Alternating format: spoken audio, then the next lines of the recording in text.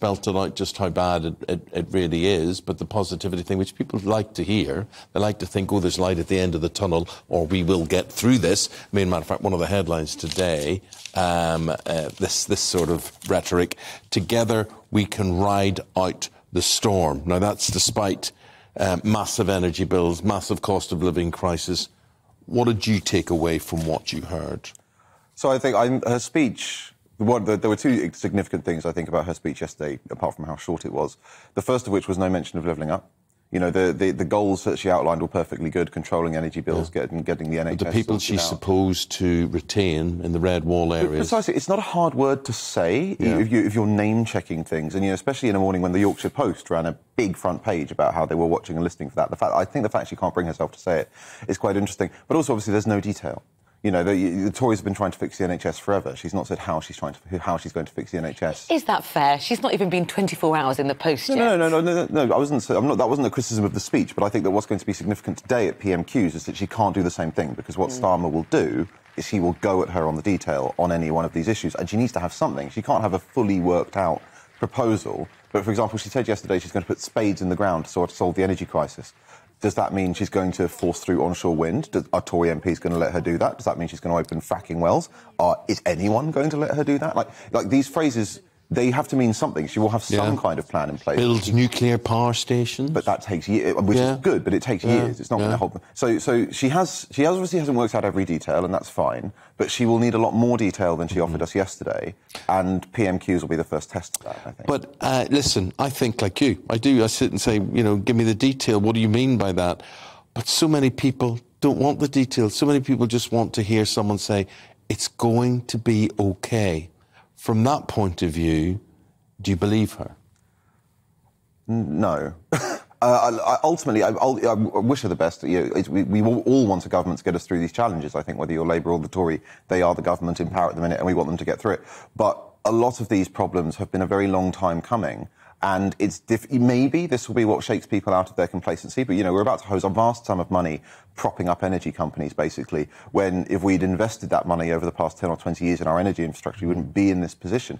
And I think we're going to have that time and time again. Henry, could you explain to me? Could you explain to our audience uh, what exactly you mean by propping up energy companies? Because for the life of me, I do not understand why they are such sacred beasts, why the government seems to, um, uh, what's the word, subsidise them.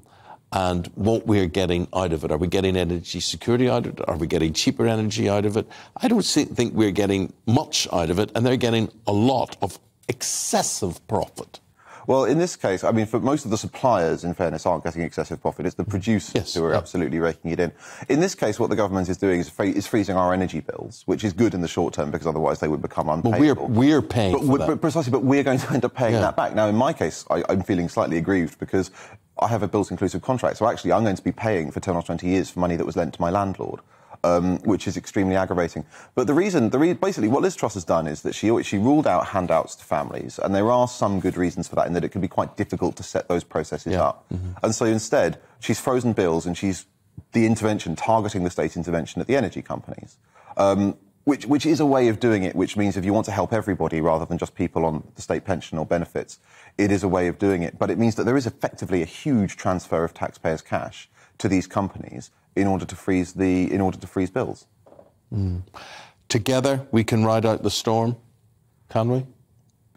If we take really bold action, I'm just not entirely. Basically, the problem is that the, the, government needs to nail the energy crisis, but nailing the energy crisis just means that they win the ability to get a hearing on inflation, on public sector pay disputes and the attendant strikes, uh, on Northern Ireland. You know, there's a huge number of challenges mm-hmm. facing this government. The energy crisis just wins them the, the chance to solve the others. What is your view as a conservative? What is your view on the fact that it is a loyalist uh, cabinet um, and that there was there was no attempt to bring the the Rishi Sunak camp on board?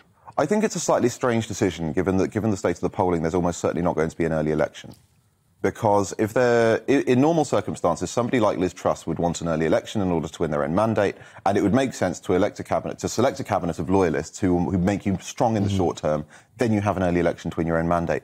Given that the Tories are 15 points behind in the polls, we're not going to have an early election. And so, therefore, what she's done is in the very short term, she has a cabinet that's going to be singing from her hymn sheet. But in the medium to long term, there are going to be a lot of people who are resentful about being passed over or resentful for being kicked out of office uh, uh in, on top of her ideological enemies. And the moment things start going wrong for her, she's going to have a lot of trouble on the backbenches.